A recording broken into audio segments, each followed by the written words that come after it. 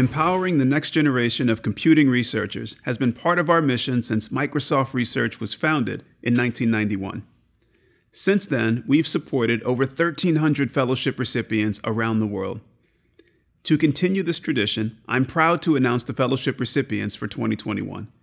They come from dozens of universities and reflect a broad range of fields, from computer vision and human computer interaction to ecology and economics. We'll hear from a few of them in this short video.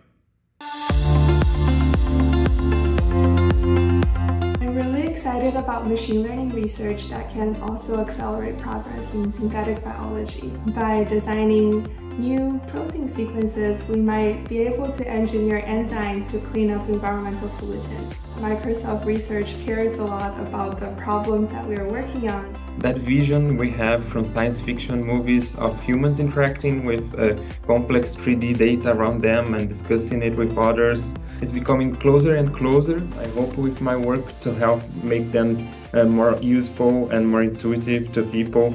Being able to get feedback from researchers at Microsoft so early in my career as a scientist is going to be a huge opportunity my research purpose is to enhance the machine with human-like reasoning ability.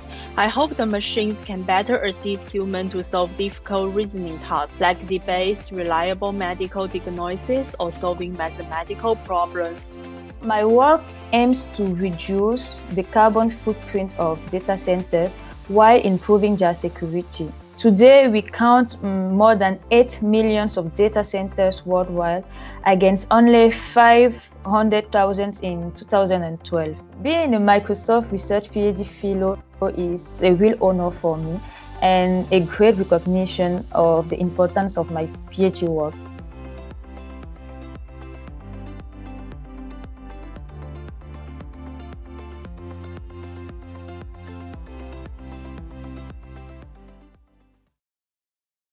To our recipients, I'd like to personally say congratulations. I'm looking forward to the impact that you and your work will have. For all of you watching, I encourage you to check out the website to learn about all of our recipients.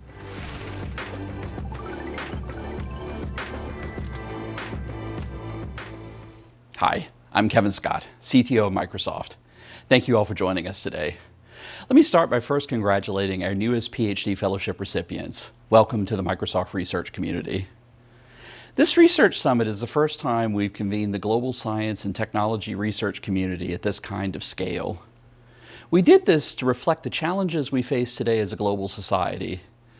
These problems are much, much bigger than any single institution can handle alone. So addressing challenges through research and technology is going to require us to come together in new ways, crossing traditional boundaries to create the greatest possible impact. For 30 years, Microsoft has invested in rigorous scientific research and ambitious long-term thinking. As we look forward to the next decade, we want to build on that foundation, to not only continue solving problems in the computing sciences, but to use computing to help solve planet-scale challenges like pandemic response and climate change, and ultimately to create a more resilient, sustainable, and healthy global society.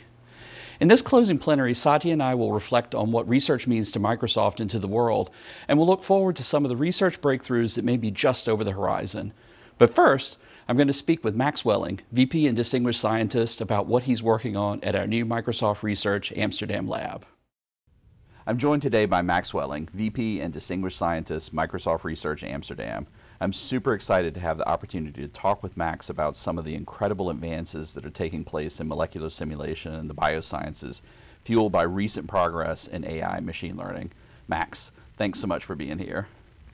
Thank you, Kevin. I've been delighted to be here. So I wanted to start by uh, just sort of asking you to give us a brief overview of your career and what you're doing right now uh, that you've joined Microsoft and, and started the MSR Amsterdam lab. Yeah, sure.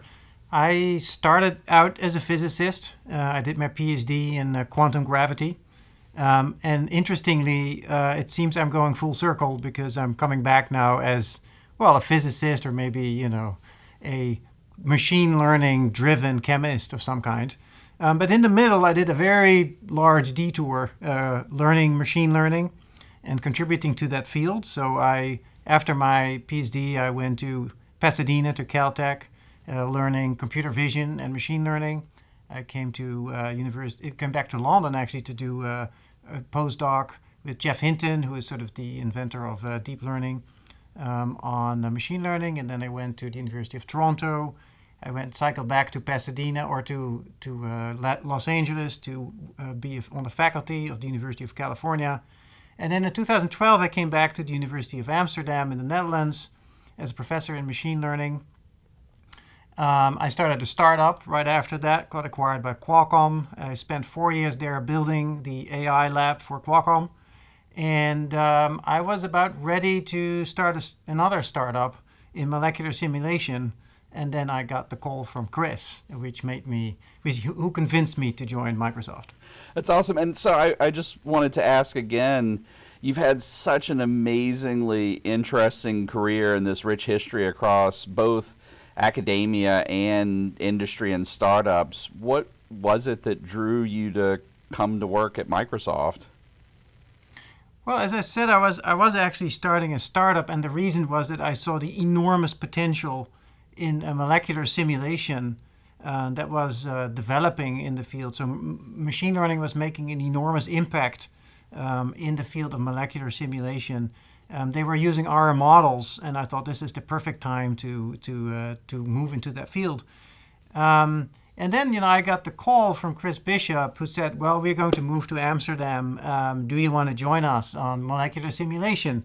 And um, I had to think a little bit, but it, what convinced me was that Microsoft has uh, an enormous uh, sort of uh, compute power behind it to really make a dent in this problem. So molecular simulation is, is incredibly compute hungry. And in order to really make an impact, you really need that compute power behind you. Also, of course, there is an amazing research culture here and lots of very, very smart colleagues that I can work with. Um, and maybe last but not least, there is the sort of pledges from Microsoft to work on sustainability problems. And that was something that I really wanted to work on. I'm seeing that you know it's our generation basically that has been pushing out the carbon into the air, and I feel it's our our duty to also take some out. And I and I saw that Microsoft basically committed to become carbon neutral, uh, or actually negative by 2030, and have taken out all the carbon that they ever produced in 2050. And I was deeply inspired by that by that uh, commitment, and so that that made me join Microsoft.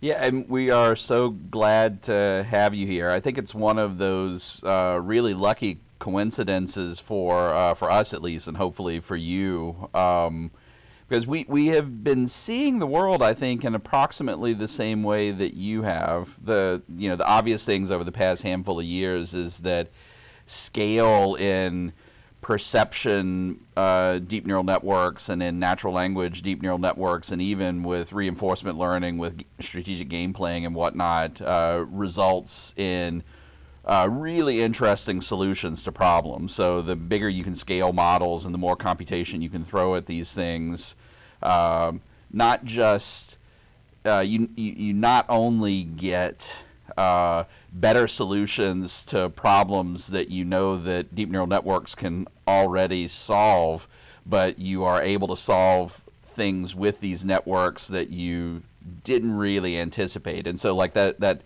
uh, return on scale has been obvious. But the thing that we've been seeing, and, and like I think this is especially interesting given your background and interest, uh, is that uh, for several years now, we've been seeing that the models themselves, when you uh, use them to try to understand something about the deep structure of these scientific domains, you can use the same principles of large scale models injected into these uh, scientific problems like simulating complicated systems and get just unbelievable uh, performance improvements, and and I I'd love you know your thoughts on that because that's I think it, the essence of what you're interested in at the moment.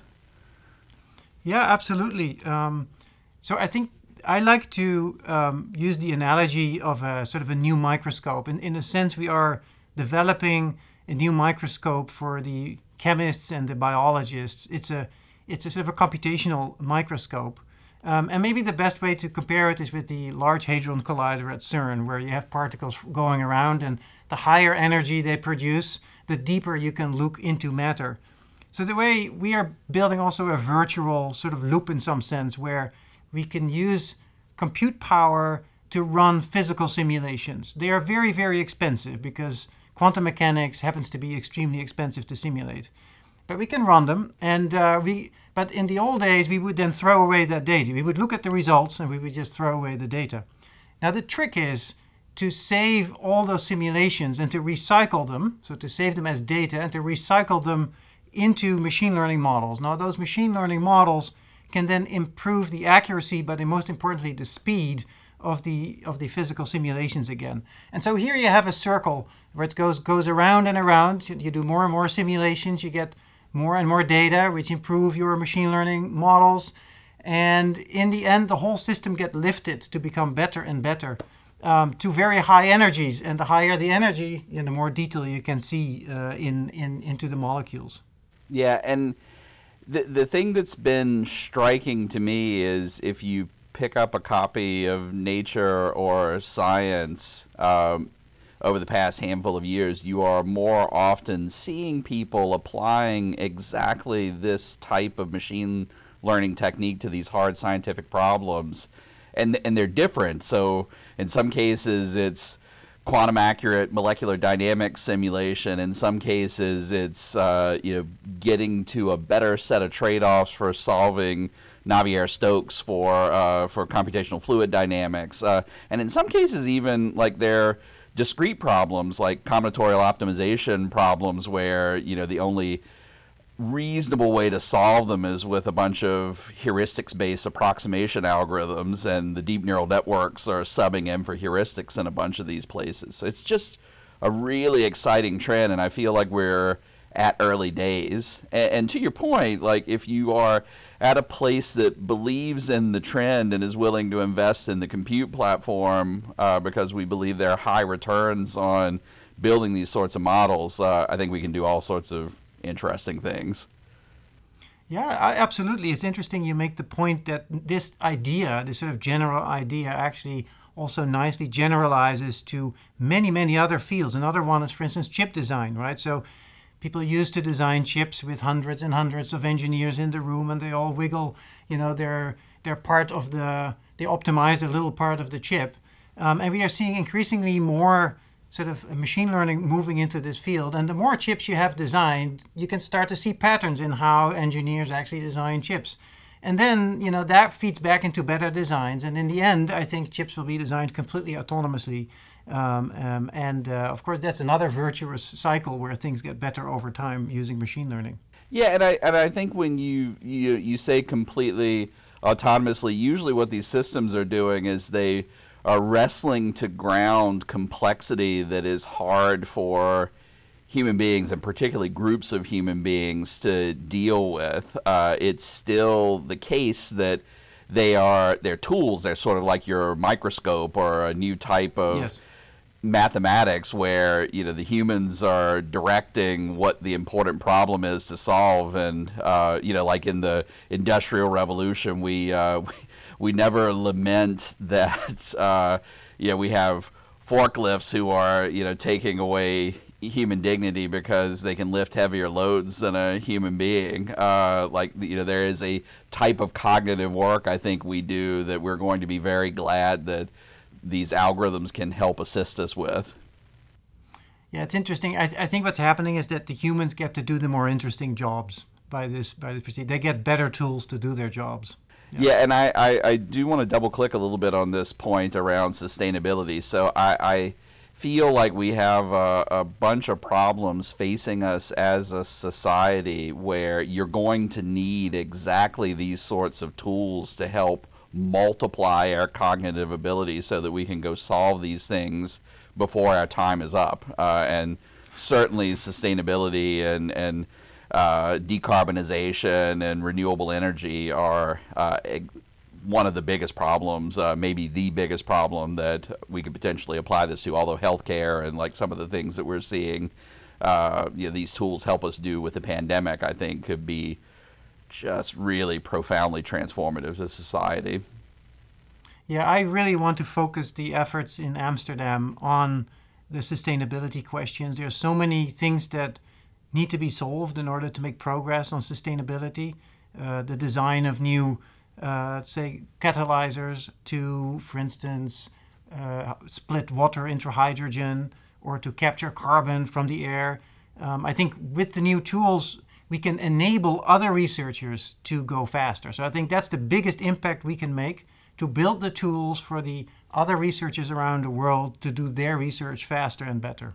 Yeah, I, am I'm, I'm I'm really excited about all of this as well, um, and, and I, I, feel like we could talk about this uh, for hours and hours and hours. Uh, thankfully, you're now. Uh, here at Microsoft, and I think we get that opportunity to go do exactly that over the coming years as we go tackle some of these problems.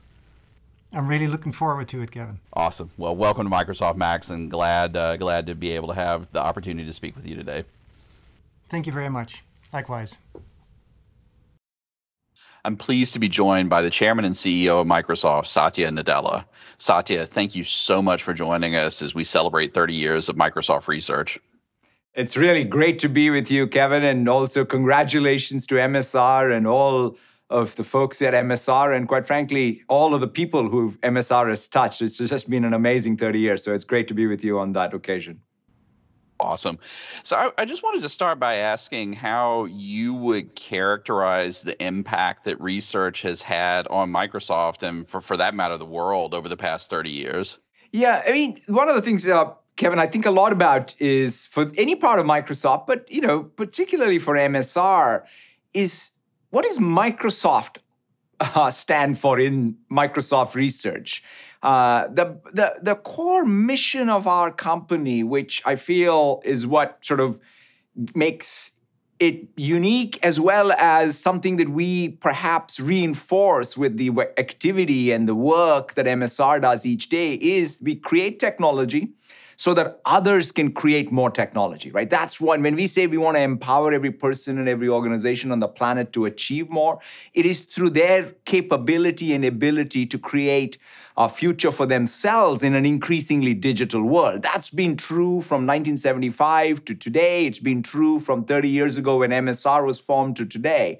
But in that context, MSR has been a game changer for Microsoft in many, many dimensions. So, for example, the first dimension was even saying, okay, we're not sitting alone. Microsoft is a part of an overall ecosystem of other research institutions, academic institutions. So MSR has been key, key to forming those long-standing partnerships with some of the greatest academic institutions doing research and improving, sponsoring uh, their work. It has also been key. One of the things you and I get to see a lot of nowadays is not just Microsoft research contributing to Microsoft products, but our customers' products, cutting it like the Microsoft researchers collaboration with other industrial labs uh, is another phenomena which is driving the future in different industries, whether it's in healthcare, whether it is in financial services or what have you.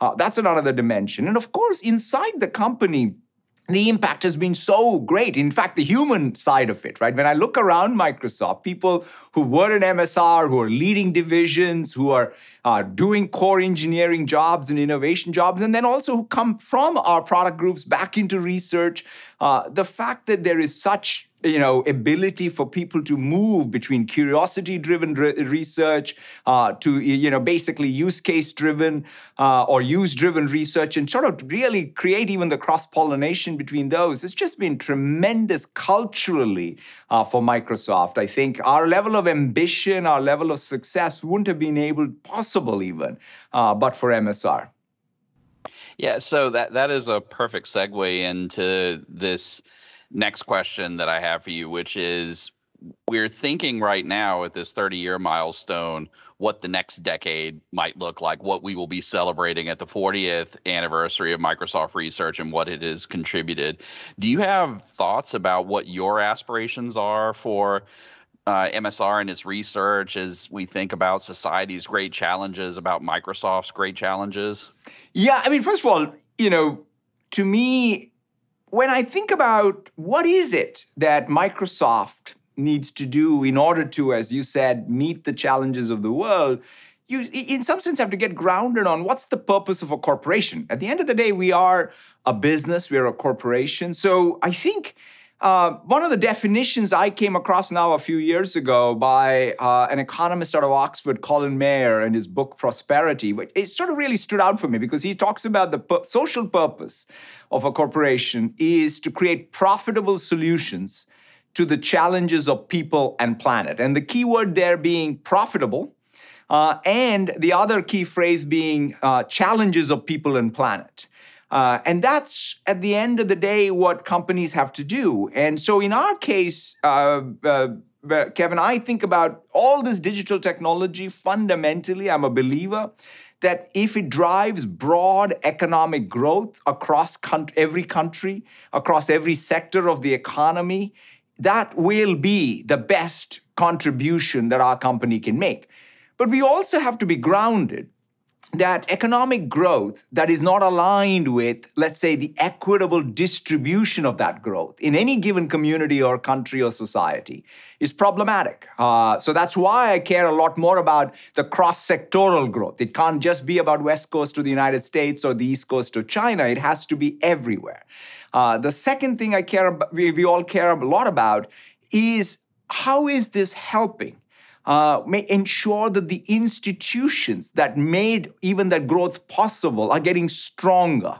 Uh, whether it's our democracy or whether it's even the society's sort of long arc towards sort of more inclusiveness, uh, how are we reinforcing that? How is technology helping? And then the one finite resource we have is our planet. What, how is the growth that is being driven aligned with that finite resource, as well as uh, how is trust? Because technology is now so pervasive in our lives that we need trust in that technology. And so those are the attributes that need to be part and parcel of what we're doing. And that in that context, what even I guess this, even this week, some of the things that MSR is doing, right? Take that data set around human trafficking and making it available so that there can be more research, more understanding around it. Or, or even some of the great breakthroughs in security and cryptography influencing what we are doing with that ElectionGuard uh, technology. Or in sustainability, the work MSR is doing with the city of Chicago. Those are great, great projects for me uh, where we have to, of course, really come up with the next distributed computing paradigm or the AI paradigm or the big, you know, user interface change, but also think about these as same at the same level of priority because I think that's how we achieve our mission. Awesome. It uh, it's it's very inspiring to hear. And Kevin, you know, talking about that though, one of the things that I've always looked forward to each year is your memo that you write uh, for us about all of uh, what you see as the not just the technology, but its impact also. So I was wondering, what do you think when you look out? You know, if you say we're reflecting now on the last 30 years, but when you look out uh, at the landscape of computing, what do you see as some of the big breakthroughs that you're excited about? Yeah, it, it is really an exciting time when I look at what the technology trends are and I get to sit down with you and others in, Microsoft senior leadership team and see what even Microsoft research and our product teams are doing and what our partners are doing with technology. I, I find myself often thinking, man, I wish I was a PhD student again because this would be a great dissertation to go write. Uh, and I think that is, uh, you know, just sort of a call to action for Microsoft Research and how we think about the risks that we're taking and the ambition that we are uh, setting for ourselves. Um, I, I, think one of those big things is AI, and you know, thinking about it not as a substitute for human beings, but almost as if we've been handed uh, an analytical instrument like calculus or the cognitive equivalent of a steam engine, and just sort of imagining how we can use it to shape how we solve hard scientific problems and how we create more productivity in the world. Like I think if anything, we don't talk enough about the impact that AI can have. And you know, you and I see this all the time. We've got really exciting advancements in molecular dynamic simulation, which is going to have this very large, high leverage effect across so many different areas like sustainability, drug discovery, um, just super exciting stuff. Uh, like even in the the response that we had to COVID 19 uh, and, and, and the pandemic, there's so many ways that we were using AI to help have a better response. And I think about, uh, you know, you, you mentioned uh, just a moment ago these projects that are in our uh, societal resilience program that Peter has uh, just helped us get kicked off. I mean, it's it's just super exciting stuff. Um, you know, we we see the AI models themselves functioning as platforms. So, you know, as they've grown in scale, like we've been able to throw this massive amount of computation at them. Uh, and and the exciting thing to me is not that that creates uh, scarcity, but it creates abundance. So, like, I think a lot of people are worried that oh my, oh my God, I can't afford a you know a, a billion dollar supercomputer to train these models, but the fact that Microsoft is able to invest in a billion dollar supercomputer to train these models and the models themselves function as platforms uh, is super exciting. Like we we get to live this, you know, this dream of platform building and, and building technology solutions for other people, these models can become the things on which people build on top of. Um, and so I, I think that's just incredibly, incredibly exciting. And then, you know, I, I think we do have to think about how we manage the impact of all of the technical things that we're doing responsibly and ethically and, and making sure that we deliver that uh, you know, sort of inclusive and equitable distribution of the benefits of the technology to everyone on the planet. And and I think you know we have some of the very smartest people on the planet thinking about how we can how we can go do this. Uh, because like the real tragedy in my mind would be that we decide that because we haven't done the work on safety and responsibility uh, that we are over constrained in our ability to deploy these technologies to solve these really meaningful uh, big problems.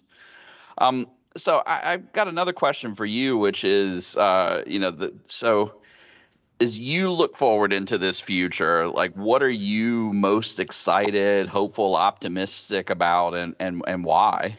Yeah, I mean, when I look at sort of even what you just talked about, um, Kevin, and at the end of the day, as as a tech company, uh, one of the things I've always felt is like, okay, what is that order of magnitude, 10x, 100x change that further democratizes the access to technology that then drives that economic growth uh, and, uh, and, and, and just, just general prosperity across sectors and countries. And in that context, I'm excited about three things, you, and you talked about all three of them. One is as a, as a systems company, how are we advancing, right? Starting with the fundamental research. I mean, one of the things people talk a lot about is what is, hey, the Moore's Law may be coming to an end. But the reality, as we know, is as Moore's Law may come to an end, there is new systems architectures that are allowing us to think about computation uh, in richer ways, quite frankly. I mean, some of the AI workloads are driving fundamental rethink, both on the cloud and in the edge. Uh, and so, how do we really stay at the cutting edge of that systems research and create ubiquitous computing fab, distributed computing fabric for the world uh, that's just 10x cheaper, 10x more accessible, 100x more accessible. So that's kind of one thing that I'm excited about. The second one is the thing that you talked about. These, you know, we know what's happening with large scale models. Uh, they're becoming platforms. Um, I think that one of the things in the next, whatever, 10 years, 20 years, we will hopefully even have breakthroughs on, you know, how does one marry what is happening with sort of the math behind these large scale models with even some of the symbolic grounding.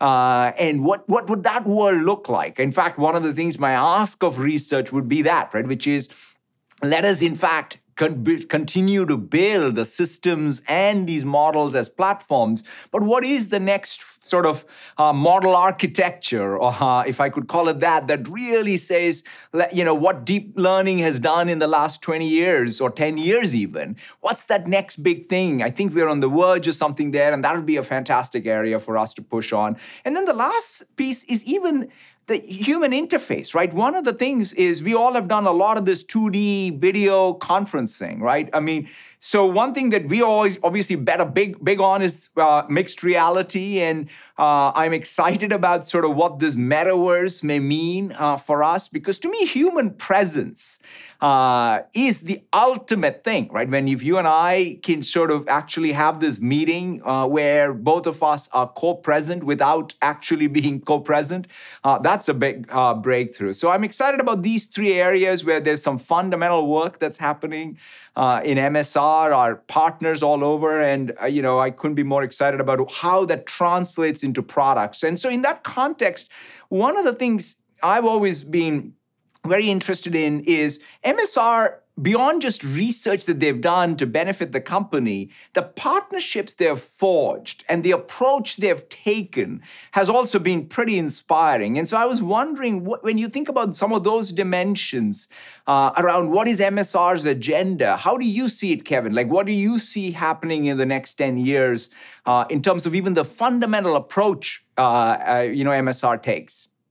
Yeah, I have really loved research and research institutions for a long time since I was a teenager and I was benefiting from reading the output of researchers and being inspired by it. And so I, I think just continuing to embrace this enduring spirit of curiosity, openness, and collaboration is really important. Um, I just uh, published a podcast with Peter Lee where we were even talking about this notion of trust. Mm-hmm. So we we live in a world where the future so critically depends on the research and the technology that we're building but people have to trust that research and technology in order for it to be used in the ways that society will need it to be used and so i think us thinking about our role in helping the world trust the technology and even to understand it. I, I, sort of feel like we collectively don't do nearly good enough job helping people who are not the deep experts like we are in the things that that we spend every waking hour of the day thinking about to try to understand and how to bridge those gaps in understanding about the these deeply technical things and how they're impacting their lives. Um, I think another thing as well that uh, you know Peter and I chat about a lot is how we encourage people in Microsoft research to take the risks that they are uniquely positioned to take. Um, so the the purpose of having a research organization isn't just to write papers and to go to conferences. It's to have an ambition to do things that are either because of time horizon or because of the uncertainty and whether or not you're actually going to be able to successfully solve the problem that you tackle these things nonetheless because the payoff when you make these new discoveries is potentially so high. And so I I believe this my entire career. It's the reason I stopped actually being an academic. I thought I wanted to be a college professor from the time I was 16 until 30, and then I, I left academia because I either rightly or wrongly felt like I wasn't able to take the sorts of risks that would produce the highest sorts of impact. And I, I, want to make sure all of our researchers feel like they're not just empowered, but they're being encouraged to take those bigger risks. Because if they're not going to do it, then who who is really? Um, and then, you know, I, I think you mentioned earlier um, like these two very key issues. One is impact. So like we have all of these uh, issues like when is the next pandemic coming? What do we do about global warming and decarbonization? Uh, how do we deal with the proliferation of misinformation like how do we use technology to strengthen the institutions that have enabled us to get to where we are right now so we have a big role to play in that and i think part of uh, our job in fulfilling that responsibility is thinking about partnerships. Um, so there are things where we are the world's experts and we have the expertise and the capital to go do things uh, but a lot of these problems are increasingly becoming fundamentally uh, interdisciplinary uh, that require us to partner with people who have expertise and ambition that we don't. And uh, you know, if you look at OpenAI or the Broad Institute or like any number of these scientific partnerships that we have, they are bearing enormous fruit. And I, I think there's an awful lot of potential for us to do more of those sorts of high ambition things with partners. So um, it, has been, you know, as always, like an honor to uh, hear how you are thinking about Microsoft and Microsoft Research and our role in the world. Uh, as I just want to thank you for your time today, and uh, you know, I'm I'm glad that we get to work together on creating what the next ten years of Microsoft Research might look like. So thank you so much. No, thank you so much, uh, Kevin. And I thought sort of your last answer was just pretty inspiring. I mean, the ability for us to work together with our partners in creating more trust in uh, innovation and in technology and in science, uh, and then couple that with increasing levels of, I would say, investment and risk tolerance that we can have, and then bring even, perhaps even the academic partners and other research institutions alongside us uh, to drive that innovation. And lastly, as you said it so well, uh, the getting ahead of the unintended consequences of the technology even uh, i think is absolutely uh, the right vision for msr for the next 30 years. And so you know one thing that i always think about is people in msr and in research in general you know to take that william gibson line uh, the future is here, it's just not evenly distributed. That's kind of where research is. Uh, but the interesting thing is for research also to think about as it gets evenly distributed, uh, what is its impact? Uh, because things are, like all things, are path dependent. And so, uh, us as researchers and as tech companies can put things on a path that have increasing returns that are positively aligned with our society. And so, that's, I think, what you know keeps us uh, all going and excited and energized. So, thank you very much uh, to everyone in MSR and congratulations uh, again uh, on a great 30 years and looking forward to the next 30. Awesome. Thank you. Thank you.